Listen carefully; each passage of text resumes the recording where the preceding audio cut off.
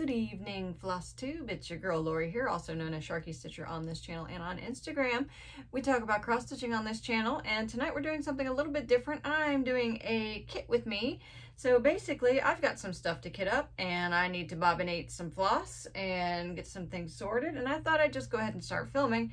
And then I had posted on Instagram that I was doing this and asked for some questions. That way it's not just me winding floss and talking about, you know, whatever musings creep into my brain.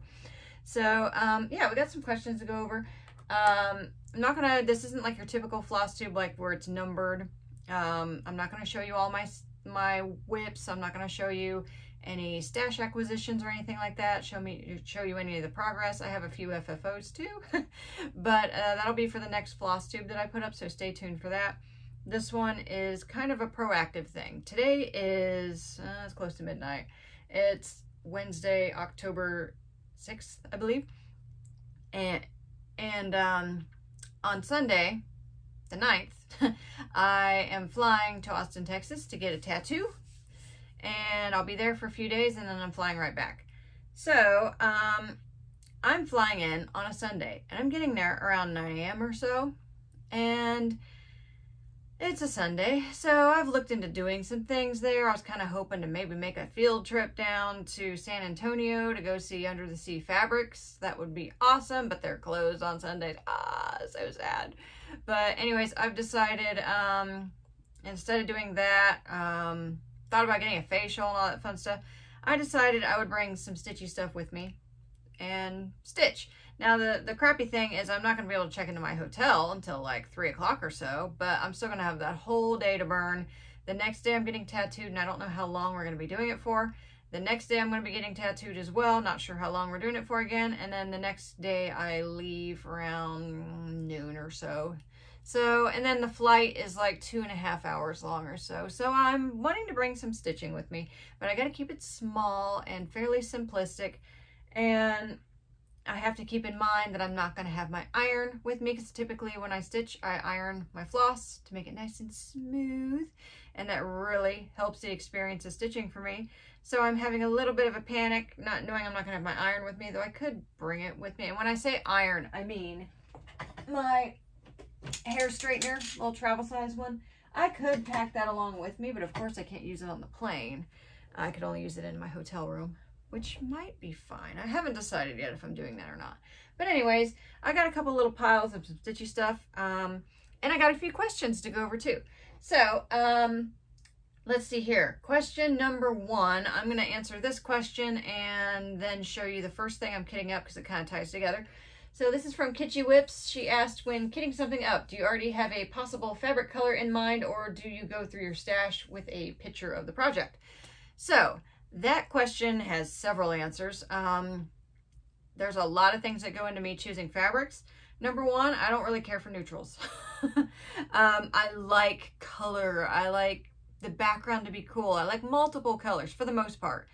Um, there are a few things that I will stitch on just kind of a basic background, like if I'm doing just this little small like ornament piece or something like that, something fairly simple or something with words, you know, I will pick something simple for that.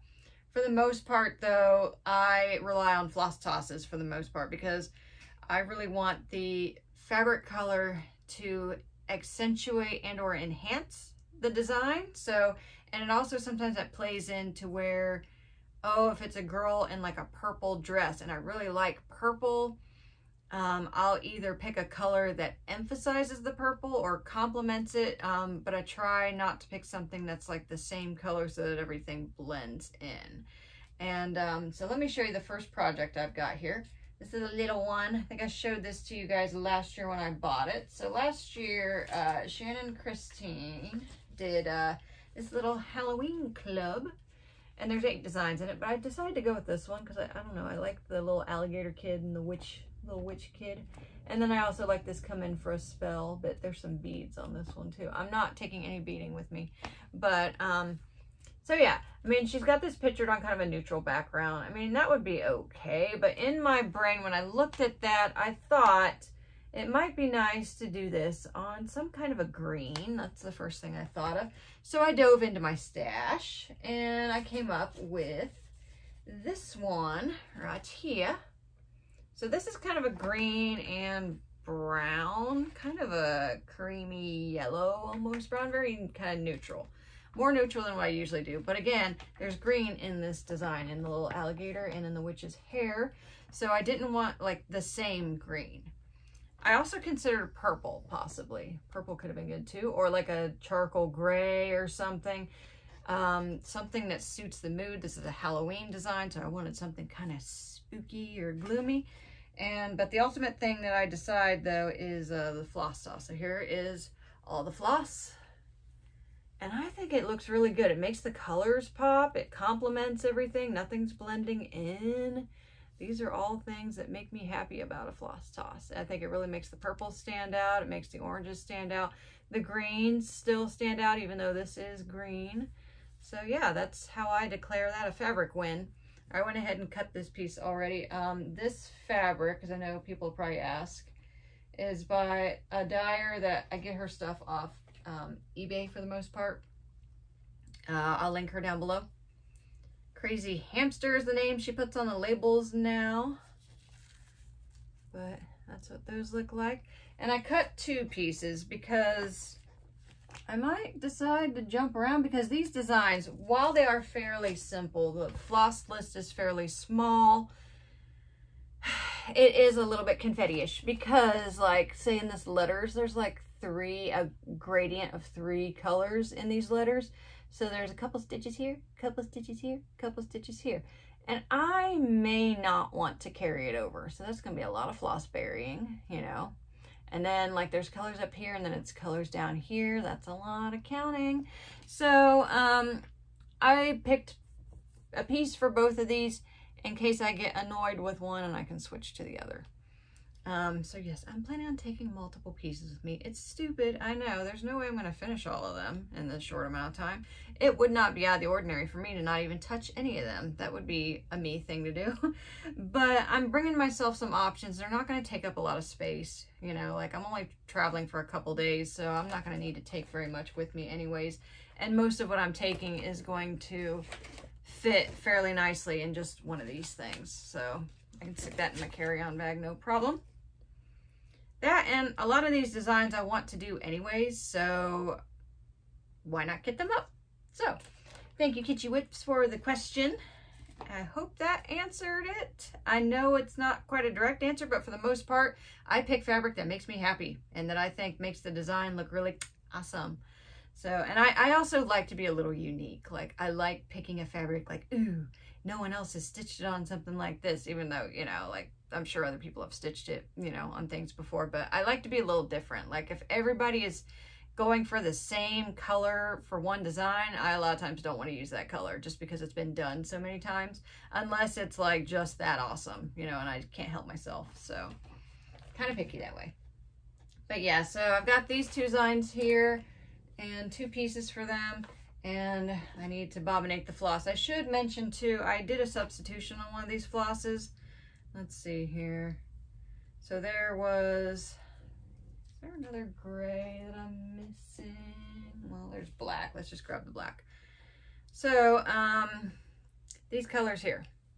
Got black, dark gray, light gray, white.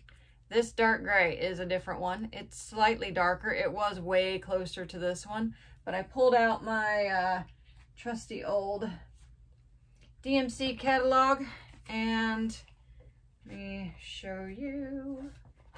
So the called for was, do, do, do, do, do, where you at? Am I looking at it wrong? Let me see. So we had 317, where are you at? Do, do, do. Okay, here we go. So this one was called for. This was the next one, and then this is the substitution I used. This look look how close these two are. I know you guys totally can't even tell on the screen there, but they're barely even a shade apart. So I kind of decided to go with this one because I number one had it in stash, and number two, I thought it's because sometimes when you're doing gradients and you can't tell the difference between the two, it kind of annoys me a little bit. It's like you can't even tell, and I had to switch threads and buy a whole new skein of floss just for this color. It would have been just easier just to do it all, you know. So I like that this kind of shows up a little bit better. But yeah, substitution. I don't think it's gonna make a huge amount of difference, but I thought I'd mention it at least. So I'll be bobbinating these up as we go along tonight. Okay, so next question is Kaylee Tent Stitch. Which of your FFOs is your favorite and which are you most proud of? Okay, FFO, in case you don't know, is a fully finished object. That's hard. Um, I am very fond of my Mermaid of the Pearls. Like, she took Best of Show in the fair this year. I'm happy with the fabric I did her on. I'm happy with the framing job. I'm happy with the beads. When I inspect her, I have to look really hard to find stitches that bug me, like aren't pretty looking, you know, like I can look at that and the only thing that bothers me about it is that I didn't do her skin over one. But it was already stitched. This was back way before I was stitching all skin over one and that's just a personal preference of mine. Um, my only issue with her is that I didn't do the skin over one. That's the only thing I would have changed about her. Um, but yeah, as far as fully finished, I think that, yeah, I think that'd be her. Um, most proud of, gosh, my Taj Mahal is still at the framer. I'm sure when it comes back, I'll probably be the most proud of it or it'll be my favorite, either one. But it's not back from the framer yet, but oh gosh, I can't wait. It's gonna look so cool. Um, they sent me some pictures of like the mats to pick them out and I'm really happy with the mats.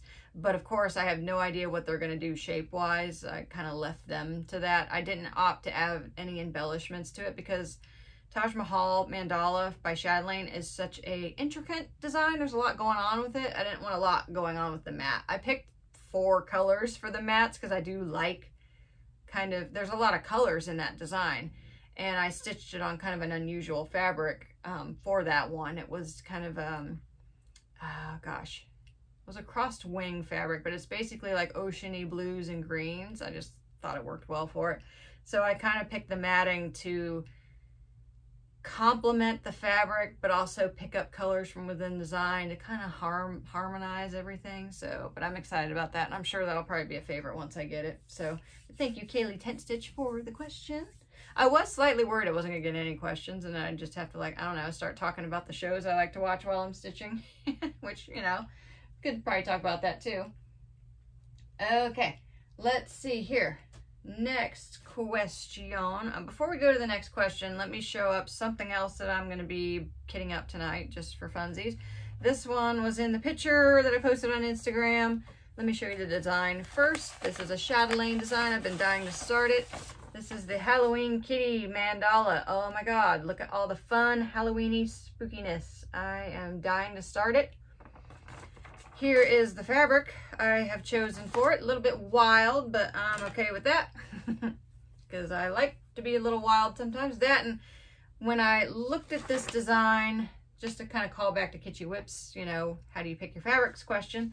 When I looked at this, I was like, there's not a lot of purple in that. And purple is a very, first off, it's my favorite color. Second, it's a kind of Halloweeny color.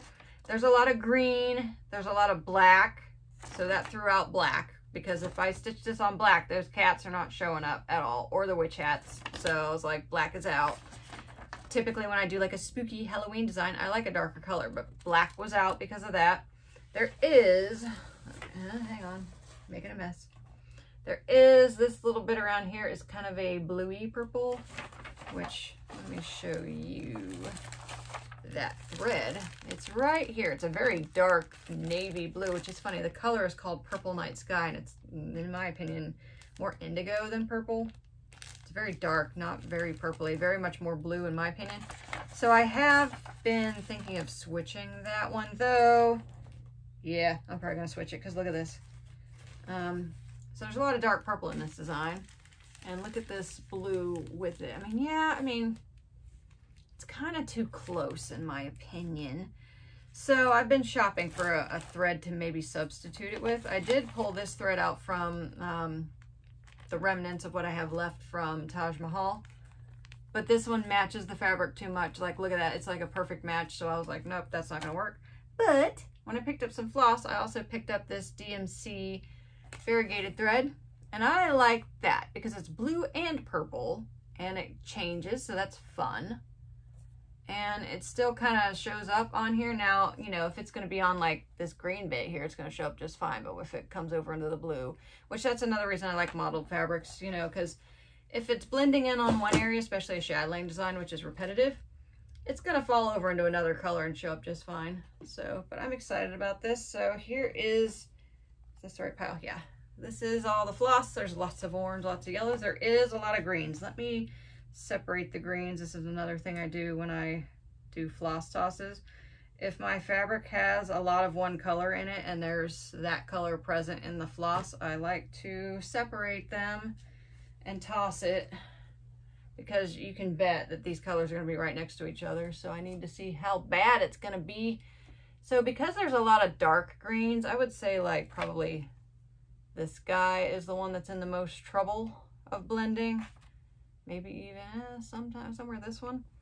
But as long as all these colors are here, I think it'll still be fine. And like I said, like, so chatelaine, it's going to cross over all these, so it's going to look really cool here, but it might blend in when it gets to the greens, and I'm okay with it. A lot of times I don't make choices like that when there's a lot of green in one design, pick a fabric that has green in it. Like, that's not something I typically do, but still in my mind's eye, I was like, I'm really feeling like a green and purple and I knew several designers like fabric companies that had like a purple and green.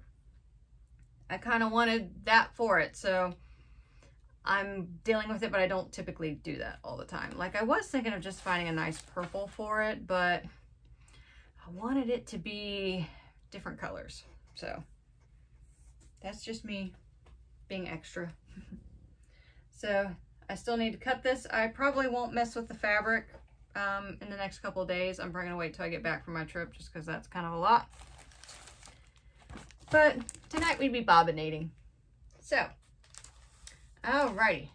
So, next questione, and I'm going to get into bobbinating. So, basically tonight what I'm bobbinating are these two piles, and I'm going to keep them separate. I'm also I typically, when I bobbinate floss for a design, I typically get it ready to put like in a bin. But because both of these designs, there's not really a lot of floss. There's, I'm not even going to halfway fill up one of them things. So we're putting a ring on it. All right, so I'm going to start with the Shannon Christine Halloween design first. Oh, one other quick thing. Here's another design that I'm thinking of taking with me just because there's only two colors in it and it's itty bitty. And if I'm in the mood for itty bitty, this might work. So this is, uh, what's it called? Is it called Boo? Doesn't say what it's called. It's by the Prairie Schooler. But yes, just little ghost, little moon, little pumpkin. It's black and orange. And I'm going to stitch it on this green. This is Conifer by Picture This Plus. Oh, sorry, I didn't tell you what name this fabric is. This is a pretty much solo from Be Stitch Me. I think they have a fabric called Haunted that looks very similar though. Basically it's purple and green. You know, whatever fabric you see on their website that's purple and green, it's it's close to that. Okay, so let's get to bobbinating and then we'll do another question. So how I bobbinate is I like to use the cardboard bobbins um, because recycling and not using too much plastic. That and when I use plastic bobbins, I don't like that when you, if you use a sticker for the number, it always flakes off eventually. So I like these, I can just write directly on them. They're cheap, they're, they're quick and dirty, they get the job done. So I always use the cardboard bobbins. So, and then I just write the number on it. I do typically buy a whole new skein of floss for every project. Um, a lot of the projects I do are large, so a lot of times I need a full skein anyways. And I don't want to run out and have to worry about dye lot issues. Now here's one thing I do when I bobbinate. I like to open up the skein. Do, do, do, do. And I know you can buy like winders, but I can wind it myself. I kind of put it on like a bracelet And then I can kind of pull from here, which this one's a little wonky, so it's going to be a fun one for you guys to watch me tie myself up with. I can see where it's going. There we go. All right. So next question was ShareBear0607. Can you please film a separate video of your stitchy stretches? She's referencing um, some little bits of yoga that I threw in on a floss tube for crafters to keep their necks from getting stiff and stuff. Film a separate video of it and post it to YouTube so I can always find it. That was awesome and it really helped me love your videos. Thank you so much, Share Bear. I'm glad you found use from them. Uh, thank you for the question as well. Yes, I am totally planning on filming. I can film the stretches I showed there separately, and I'm planning on doing more like kind of full body um, stretches because the ones I showed were kind of like chair yoga where you can just do it sitting in your chair, which is nice if you're crafting, you know, you've been working for hours. It's nice to just stop, take a second, do some stretching, keep yourselves from deteriorating too much because we crafters are kind of rough on our neck and shoulders. So it's good to stop and refresh those. There's a knot in this. Look at that. First one, there's a knot in it. That's kind of funny. Oh well. I'll cut it later. and then I wind away. I'm my own winder. I don't mind it. So, um, but yeah, I'm also planning on doing like maybe a separate channel that's just like yoga and dance and stuff. I mentioned that in my last video. I'm probably going to um, do that before too terribly long because I'm really wanting to teach yoga again. It would be just so easy just to do a channel on it. That way I don't have to like split the cost with a studio or anything. But yeah, so a next question is by Adventures in Cross Stitch. I like your name. It reminds me of Adventures in Babysitting. That was a fun 80s movie. First one down. Long way to go. Okay, so Adventures in Cross Stitch. I always have trouble picking fabric and usually ending up going with the recommended fabric. How do you decide which color fabric to use? Do you pick a color that's in the design or something else? Thanks in advance. You're welcome in advance. Thank you for your question. And I know we kind of went over that a little bit, but I'm never tired of talking about how I pick fabric. like I said before, um, I kind of go with whatever makes me happy. I don't like using recommended fabric because I don't like being told what to do. that and I like to be different. You know, sometimes the recommended fabric, I feel like kind of everybody goes for that. Um, it's just one of the things, like there is no wrong answer. Like if you don't like a color, not even fabric, maybe floss, you know, just sub it. Like the cross stitch police are not going to knock on your door and say, ma'am, you use this color instead of that color, you know, that's a $50 fine, you know, like, and it goes on your cross-stitching license for two years. Like, it's going on your wall for the most part, unless you're giving it to someone else. If you're giving it to someone else, they are clueless, especially if they're not a stitcher or a crafter or in general. It's what makes you happy. So use the fabric you like, use the threads you like, use beads instead of thread like me, I'm a sparkle whore. And if there's not much sparkle in it, I put it in there because that makes Lori happy. so yeah, I mean, that's kind of what stitching's about. Give yourself permission to do that. Um, there are no rules for the most part.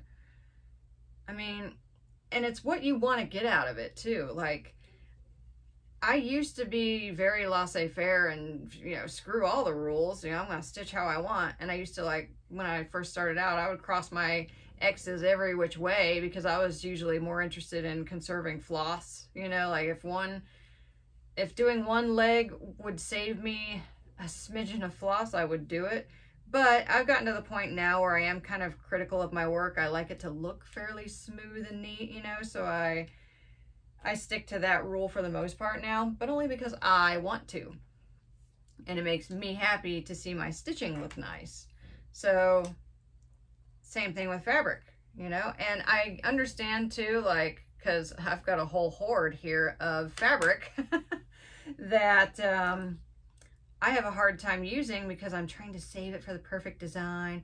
And sometimes, you know, like say Chatelaines, they're very expensive kits it's like say this Halloween design, that's kind of a wild fabric piece. What if I start it and it looks crappy?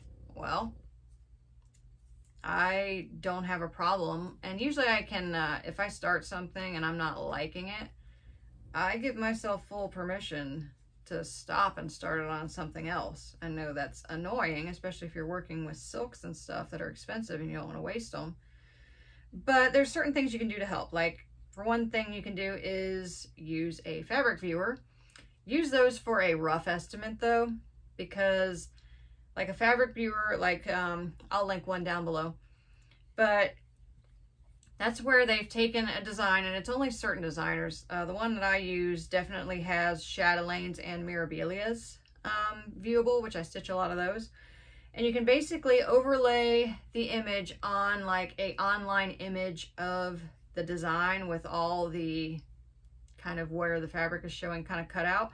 So it gives you kind of a gross idea of what would this look like on blue? What would this look like on purple? What would this look like on a rainbow ombre? You know, like it gives you a rough idea, but keep it as a rough idea. I can't tell you how many times I have done a fabric viewer floss toss, fallen in love with something, ordered the fabric, and the fabric looks nothing like it did in the picture on the viewer. so that's why I say use it with a grain of salt. Also, the next thing I do are floss tosses. So sometimes I might have on hand, you know, the fabric similar to what I saw in the viewer. And I try to get my hands on the floss first, you know, or silks or whatever it is. That way I can see in person how well do these colors go together. Because sometimes like Mirabilias are notorious for having horrible pictures. Like you'll think, oh, she's wearing a gray dress, but it's actually like tanzanite or blue or silver or something like that. And you have to kind of see the floss to know, oh, you know, this has this many colors on it. It's not going to look good on this color or it will look good on this other color. So floss tosses are pretty much the most accurate way, but of course to do that you have to have the fabric and the floss in your presence. Another thing you can do is stalk other people on Instagram and hopefully they're nice and have posted what fabric they've used and you can kind of see, ooh, I love that fabric. And then you can cry when it's a solo or it's like some fabric company that's not designing anymore. I've done that many a times. So yeah, I creepy stalk everybody on Instagram and I am probably the number one question I'm asking on Instagram is, oh my God, what fabric is that?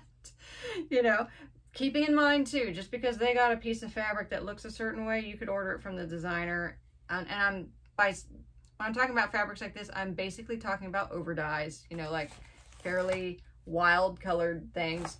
If it's like a solid color, you're more likely to get, you know, what you were looking for. But just because I tend to use those colors, that's what I'm meaning when I'm asking people what kind of fabric it is. If you like stitching on solid colors or from companies, I kind of messed up a little bit. There we go. I was backtracking.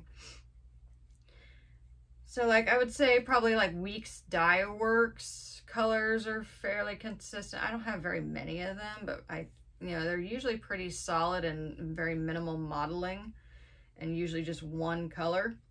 So if you're liking a fabric from them, it's probably going to look about right. Or some of the Picture This Plus, like some of their solider colors, like um, Conifer here that I just showed you.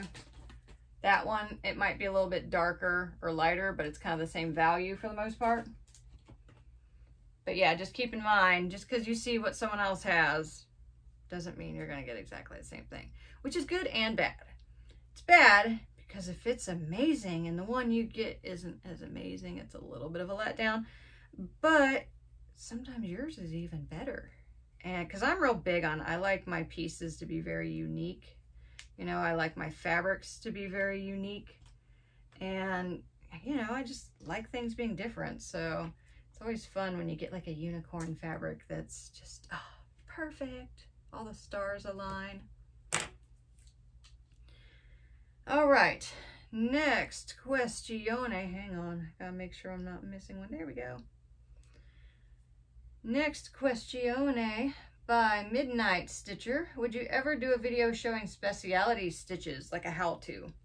Thank you, Midnight Stitcher, for your question. Yes, that is in the plans. Look at this. Know. Yeah, see, one thread got all wonky. I can just pull on it and fix it. There we go. Oh, and I almost forgot there's something I'm going to do here, but let me answer your question first. Yes, I am definitely planning on doing a how-to on speciality stitches. Um, kind of picky on which ones I'm doing them on though. Um, I'm definitely doing one on like Rhodes stitches, eyelets, um, Jessica stitches. Um, those type of stitches kind of have a similar uh, mechanic to them. And I love it because I, it's mo monotonous, but my favorite speciality stitch is the Rhodes stitch because they look like little velvet pillows, you know, and oh, you just want to touch them, but you can't, especially if they're done with silk and they have that lovely sheen to them. But yes, I am planning on doing a video for that and demonstrating it. But I will say, I do not feel like I'm an expert on speciality stitches. I mean, I've done a fair few of them. Um, Teresa Wentzler usually has a lot of eyelets and stuff in her designs on the borders especially. Uh, Victoria Sampler, tons of speciality stitches. They're also a great resource, which is kind of why I feel like, I don't know, I shouldn't be acting like I'm an authority on it because, you know, they've kind of banked on that. So I'll leave a link down below for Victoria Sampler's website. They have a really good resource for um, how to speciality stitches. Also finishing like fully finished objects like scissor fobs and um, biscornus, like frame designs, like they are just a wealth of information. They also have like little mini kits, like especially like if you're learning how to do Hardanger, they have these like 10 step how to do Hardanger kits that are, can't remember what they cost, but basically each kit, you finish an ornament like sized piece and it teaches you one like new stitch for the most part or trick for Hardanger. And that's how I learned how to do Hardanger, was I ordered several of those kits. And then once I got the hang of the basics, um, when I would do like a Victoria Sampler design, they incorporate a lot of Hardanger into their designs. Once I had like, I don't know, steps one, one through five or one through six, I can't remember. I didn't buy all of them because by the time I had gotten through like step five, I could just kind of look at it at another one and be like, oh, okay, I see how they did that. You know, once you kind of get the basics, you can kind of improvise from there. So they are a wealth of information that I highly recommend. Um, I will link them down below. But yes, I will do a speciality stitches video. I'm looking forward to it because I really love speciality stitches. I need to also do a video on over one. I've been asked that several times and I am planning on doing it. It's just over one stitches are not my favorite. I just love the payoff from converting skin to over one so much that I find it worth the effort to suffer through stitching over one and converting um, over two um, stitches to over one that I put up with it. But yeah, there are a few tricks to it um, if you've never done it before. Gosh, this one's a mess. It's gonna be hard to keep this one straight. But yeah, that video is coming uh, soon. I kind of would rather film it before the over one video, but I kind of feel like I've been promising to do the over one video first. Uh, this one's probably gonna be messy, but let's let's let's just do it.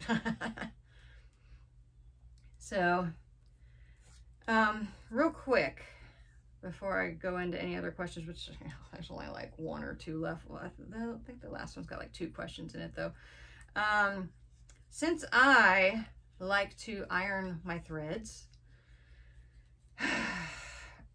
and I should say more specifically, there are like issues with, um, I'm not taking any scissors on the airplane. I know there are some rules with like oh, as long as the blade part is under so many inches, it should be fine. But let me tell you, the last few times I have flown, TSA has been on me. And like, I got a bag of sand confiscated from me that I collected from the beach. They almost took my coffee too. so I can imagine a pair of scissors. I'm not feeling generous and wanting to give them a pair of my scissors.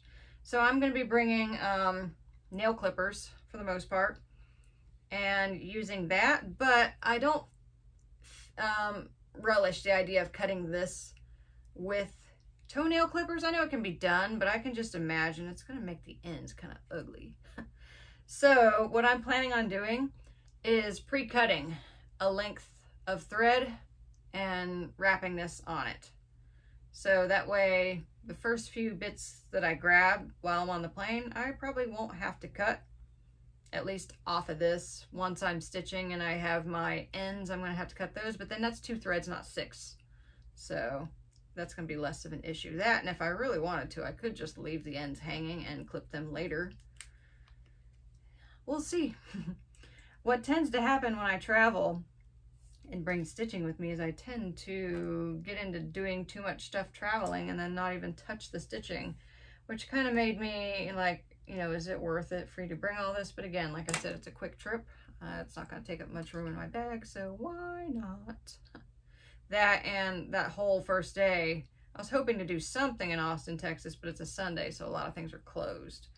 So it'll just be me and my stitching, and I am not above holding up in a hotel room and doing nothing. Like, I'm okay with that. I don't feel like I have to go and do something. Could just be my day off in another state. So, yeah. Last question was by Midnight Stitcher. Would you ever do a video showing speciality stitches how to? I'm sorry, I just asked that one. I'm so dumb. She had two questions, so that was her first question. The second question. When you are changing out Mill Hills for Delica beads, what do you do when you can't find a good substitution? And would you ever use both on one piece? The answer to that last question is yes. I do mix up Delicas and Mill Hills for roughly two reasons.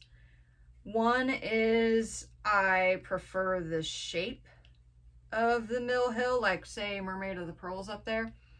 I kept some of the Mill Hills because they were meant to look like pearls and Mill Hills are more rounded in nature, so that looks more like a pearl instead of picking like a more square shaped Delica so she has Mill Hill, Delica, and freshwater pearls on her, like real freshwater pearls. So yeah, I'm totally open to mixing. I actually like mixing because it creates a lot of di different interesting textures, you know? Unless like there's certain designs that I'm stitching where I want like uniformity, like this, the beads are really close to each other, like in a lot of chatelaine centers, then I definitely want Delicas because they fit more tile-like, you know, and they're not crowding each other and giving me crowding issues and it just looks more uniform. Um, there are sometimes when I, I mean, Delica has a very large colors, like there's more Delica colors than there are Mill Hill. But there are some, there's times, uh, I think when I was working this lady back here, Queen Amphitrite, there is one she has Mill Hill in her list and I'm converting her, but there is one Mill Hill color that I really like. And so far I have not found a Delica that it, it's more the, um, the shine of it. Like it's kind of, I don't know, it's just a cool color. And I haven't found something that I like for, um, Delica to substitute it with. So I might just use it, which, you know, I, again, I do what makes Lori happy when it comes to stitching. so if I like this color better, yeah, I'm going to use it. I don't care that they're not all Delica, which they're not all going to be Delica because some of the beads, like there's some crystals, there's a couple beads that are like larger size that I'm not going to find in a Delica. So yeah, and especially with her because she's got like a sandy bottom here and there's lots of like beads that are kind of goldy looking like pieces of gold almost, a couple pearls and stuff for those type shapes, I'm not going to want the square Delica. I'm to want more round like Mill Hill shape. So yeah, I have a lot of fun with combining them. I substitute them mostly because I just prefer Delica. I find that the finish lasts longer on them. I do have a couple designs that I've stitched with Mill Hill beads, like gold ones specifically, and I find the finish coming off on them. That's no fun. I haven't noticed that so much happening with Delica so far. I also haven't been stitching with Delicas as long as I have Mill Hill, so time will tell, I guess. But yeah, I if I like one better, I will use it. I think that's pretty much the theme of tonight. You know, Lori does what Lori wants.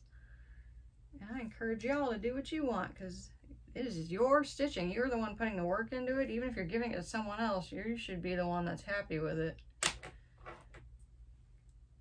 We're down to four colors, including this one, so I'm not doing too bad. And we're through most of the questions, but I thought, you know, we could talk about a few other things, at least while I finish this pile here. I didn't plan for this video to go too terribly long, but hopefully someone else is kitting something up and we're kind of kitting things up together. That's fun, fun to think about. Alrighty. So, um, I thought I'd talk about what do I usually do when I'm kitting stuff up. A lot of times I will watch floss tubes um, because especially when people are very like a WIP parade where I feel the need to look. I don't like listening slash watching WIP parades when I'm stitching because I have to, I feel the need to keep looking away from my stitching and then you end up just watching instead of stitching. So I like to do like WIP parades and stuff while I'm doing this because I can watch while doing this for the most part. Um, I also like stitching in general. Watch a lot of serial killer documentaries. um, because again, usually those type of documentaries, you don't have to really watch them. Uh, especially if, you know, if you're kind of a nerd and you like a psychology nerd, I guess. That's, I feel like, the most type of us who like watching serial killer type documentaries. Um, it's usually old footage that you've probably seen already, you know, so you don't need to watch, you know, and it's usually some person talking the whole time. I'm a big documentary fan, but uh, yeah, I like serial killer documentaries. um, I also like um, watching Hell's Kitchen. Uh, Gordon Ramsay cracks me up. Um, I'm here for the cursey words. And he, uh, a lot of times that show, if you watch that show, it's just people shaking pans the whole time. So you don't need to watch that. And then Gordon will inever, invariably, if there's something worth looking at, you're going to hear him say, look at this shit. You know, so then you can look, you know, when you hear him say that and still keep stitching. So I've probably watched probably every season of Hell's Kitchen while stitching just because like, oh my God, and there's so much drama. Like who knew? I've never worked in the food industry, I feel like I've learned so much just watching that show. Though one downfall to kind of listening slash watching that show is it almost always makes me want to go and make something. like um, I start getting hungry because some of the food looks really good. um, I'll sometimes watch movies too. You know, I'm one of them people that I will watch the same movie over and over again. I've probably seen Jaws a million times, Aliens a million times. Um, horror movies, I love horror movies. Um, like the classic 80s ones, like the Friday the 13th, Nightmare on Elm Street, Halloween, Texas Chainsaw Massacre, Chucky, or Child's Play. Um, I like all that.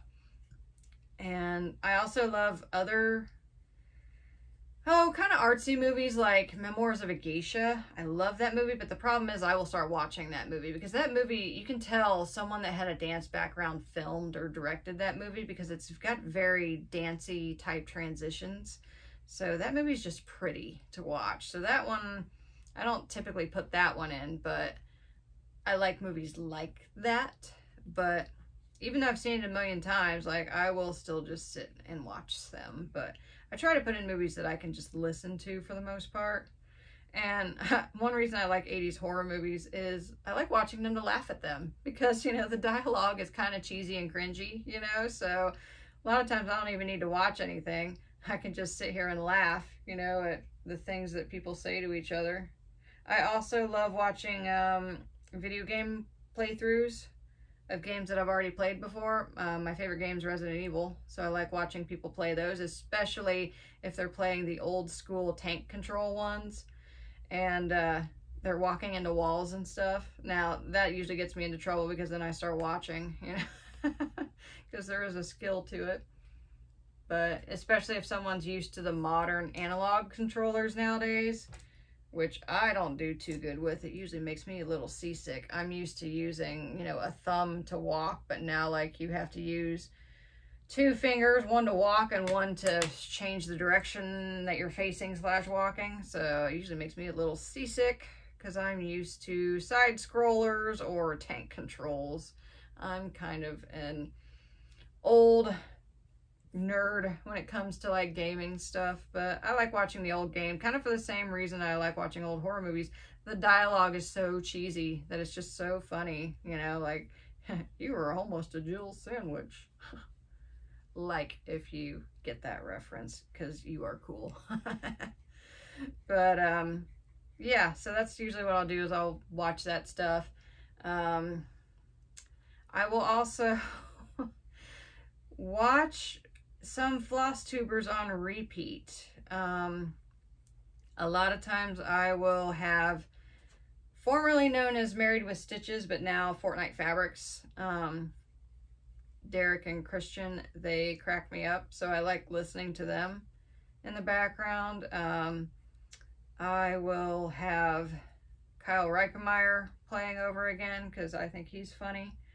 Um, I found a couple new floss tubers too. I can't remember. I'm terrible with names. If you watch my channel, you know I suck with names. So since they're new to me, I definitely don't know their names. It takes me a couple goes.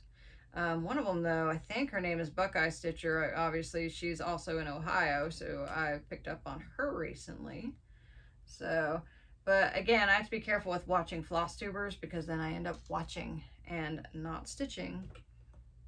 But I can do them while I'm doing this. So that's what I would typically be doing if I wasn't talking to you guys right now. All right, so this is the last color for this group. And I think we will call it a night because I do need to get to bed. I haven't started packing for the trip. I need to finish doing laundry for work tomorrow. I am working up until Saturday, so I don't have a single full day off until the night that I leave. And I have to drive a fair bit to the airport and my flight leaves at 7 in the morning, so that means I need to get at the airport by 5-ish, 5.30ish, which means I need to get in the car around 4 o'clock. So that's not going to be fun. But that gives me very little time to like finish the usual things you need to do before you leave on a trip because I got to run to the grocery, make sure the kid and the pets have enough food to survive while I'm gone. so I do have one more thing to show you guys though. Maybe you can see it in the background. The last video, I had my black orchid in bloom, my catasetum type orchid. She was really cool. Um, her buds have fallen off since, but once she started blooming, I realized I had a bud for one of my cattleyas, which is super exciting for me because I've had, I have three cattleyas. I've had more before. I've had a lot of orchids before, but a lot of them caught a virus of some kind and croaked on me. But I have three cattleyas because I love the foliage on them. They're so robust and thick and the flowers are amazing. But I have not, until now, successfully bloomed a cattleya. Um, I have bought cattleyas that were already in bud and had them bloom, but this is the first bloom that I can take credit for because not only did she bloom on my watch, but this entire growth that the buds coming out of grew on my watch. So that is my flower. I created it. I'm probably going to do this. I'm going to have to put these in order first before I put them on the ring. I like having them in numerical order, otherwise I get twitchy. So, but let me show you my orchid real quick. She's quite pretty. Do, do, do, do. And she's in a very janky container right now. It keeps her happy. So she's kind of a big girl. This is a RLC, which stands for, if I'm not mistaken, Rhyncholaelia cattleya. Don't ask. I'm going to nerd out. okay, here she is. Isn't she pretty? So this is a cattleya. They're known for being the big kind of classic orchid, you know. She does have a fragrance, but what's interesting about cattleyas is you don't really, they mostly put their fragrance out in the morning. So I'll smell her in the morning, but right now I can't smell too much. But isn't she pretty? And her name is the Amazing Thailand. And isn't she so pretty? And these plants are cool because they put out all the, she's kind of got a BDSM restraint system here because she likes to go all over the place. So that's where all this stuff comes from. But they will put off a growth and then that growth puts out a sheath. And as you can see, this is the last growth I had. Hang on, let me try and make this work. So this is the last one and she put out a, a flower sheath, but no bud came out of it. And I did grow this one. Actually, I think it might have been growing when I got her. No, I think this one came when I got her. But yeah, this one never put out a flower sheath, which is usually what happens when I have Cattleyas. I can get flower sheaths, but no bud comes out of it. So this was the first time I actually got a flower, so I'm so proud. I did switch fertilizers. I got a blooming fertilizer, um, thinking it had a low middle number, like the nitrate level or something. I'll have to check. If you're interested, let me know. This might be totally boring for you guys, so sorry if it is. But isn't she so pretty? I'm so proud of her. Proud plant mom. Grow, damn it. so yeah, um, she's probably going to need repotted soon. She's getting ready to crawl out of her pot. I did repot her last year, I think, before this thing was where it was. Now, let me see. I don't even know if you guys can see this, but the orchids put out what's called eyes. And that's where another one of these things can pop out and it's probably under all this sheathing here. But it will put out another one of these and then roots will drop from it. So if you're not careful, it will walk out of the edge of the pot, which is pretty common in the orchid world because they're epiphytes, which means they're air plants, and a lot of times the roots like to be free in the air to absorb moisture from humidity more so than water being dumped on them. But anyways, this is my lovely, amazing Thailand Cattleya orchid I'm very proud. She pretty.